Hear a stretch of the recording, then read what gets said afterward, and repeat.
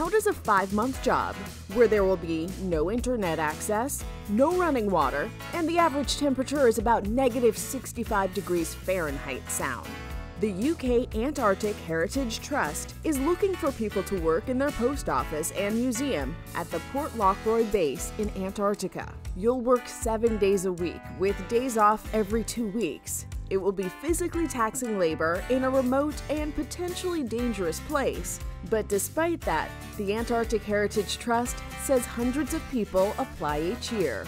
Here are the things you can't do if you take this job. You can't be chatty. There is no cell reception on Port Lockroy, and the satellite phone is used for emergencies only, not catching up on the latest gossip from home. You can't want privacy. You'll be sharing one bedroom with other staff members who hopefully don't snore.